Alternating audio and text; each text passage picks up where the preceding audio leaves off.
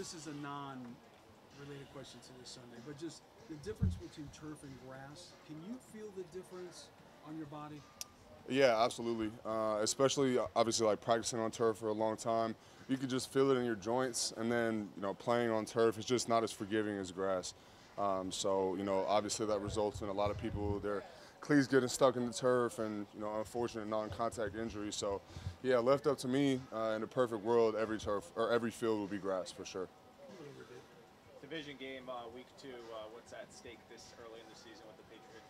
Oh, I mean, it's a big game, obviously, um, but you know we're just going to prepare for it like we always do. Um, so obviously they got a talented team, and it's going to be a hard-nosed game. It always is when we play the Patriots. So, yeah. What we saw towards the end of that game, what the defense did, is that, is that the MO of this defense this season? Uh, yeah, I mean, obviously we don't want to be in that situation every time. we want to be able to, you know, hold them to a lot less points, a lot less yards given up. But I mean, yeah, I guess that is the mo because you know, no matter what happens when push comes to shove, uh, you're always going to see high effort, high intensity uh, from us. So. You guys got the sacks late, but early on it seemed like you had some trouble getting pressure with four. What was going on?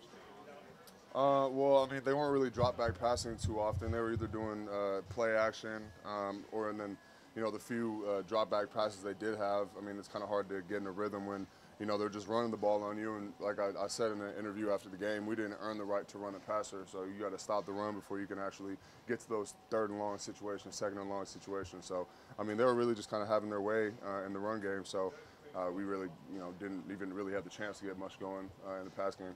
How do you fix?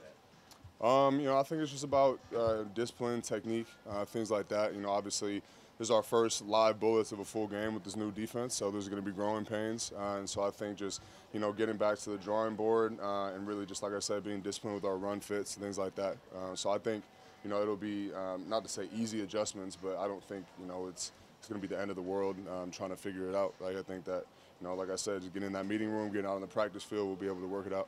What is the possibility? I mean, when you when you put stuff like that on film? Do you think the Patriots are trying to prove that you guys can stop the running game? Absolutely. Uh, you know, it's a copycat league, so anytime you're you're assessing somebody on film and you see that a certain play or a certain formation or something has success, you're most likely going to try to repeat that success. Um, so we have to go out there and set the tone uh, and prove that we can stop the run. Do you see some improvement on Mac Jones in week one? It looked like kind of looked like Mac Jones rookie year. Yeah, I mean he's a he's a talented quarterback, um, and um, yeah. You think week one we all overreact, win or lose around around the league, media alike? Um, I think sometimes you guys overreact in general, uh, which you know isn't necessarily a bad thing. Like you know when it's when it's going well and, and you know you guys are hyped and excited, that's obviously a great thing.